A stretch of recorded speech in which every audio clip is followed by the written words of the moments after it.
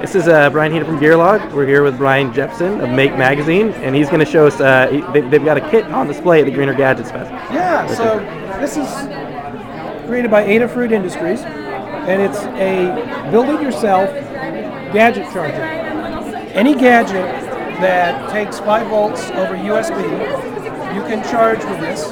With certain exceptions, occasionally manufacturers will come out with a new gadget that for some odd reason uh, requires a slight modification to this. And the great thing about the Minty Boost is that if a manufacturer decides to make a device that charges in a weird way, not quite to the USB specification.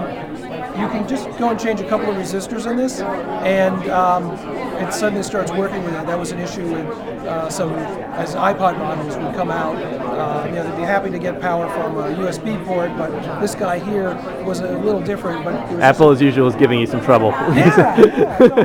So, so, but here's how it works. It's a it's a step-up voltage regulator that takes two um, AA batteries, and, and of course, we recommend that you use rechargeables. So it's taking three volts, stepping it up nicely to five volts.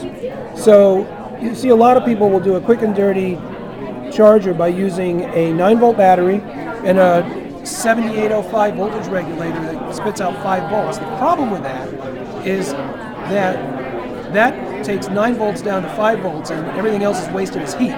This is real clean and efficient, steps it up, gives you a high, high efficiency, and lets you get the most out of the batteries. And so you've got a charger on the go.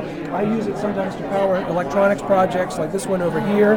Um, it's just a real great, great little device. And we got one being built right, right over here. It's uh, it's it's in an Altoids chewing chewing Yes, gum. hence the name right Minty now. Boost. Great. Yes.